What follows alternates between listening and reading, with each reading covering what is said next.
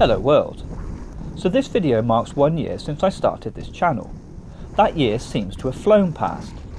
I've really enjoyed creating content for the channel and it's been great all the comments and feedback that I have received.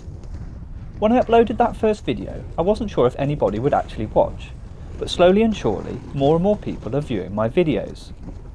Without viewers a YouTube channel is nothing, so I want to say a massive thank you to everyone who is watching. The original point of the channel was to spread the word of inline skating, and I hope I am helping to do this.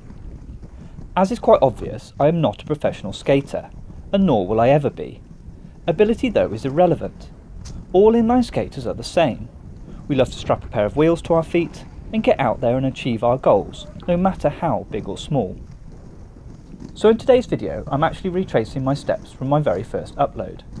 I thought it might be quite fun to do this as a bit of a comparison. I should point out though, that although I roughly start and finish in the same place, there is plenty of new content here. And I'm also rolling tri-skates, which I didn't even own a year ago. If you're interested in watching back my first video, there is a link in the description, and there will be a thumbnail at the end of this video. So going into year two, what are my goals? Well, more of the same really. People seem to like what I'm doing. Although, I do have plans for some different types of video. I can't say any more at this stage, but they will be hopefully appearing soon. As always, please leave me any comments and suggestions you may have, and I'll shut up and let the rest of this flow play out. Laters.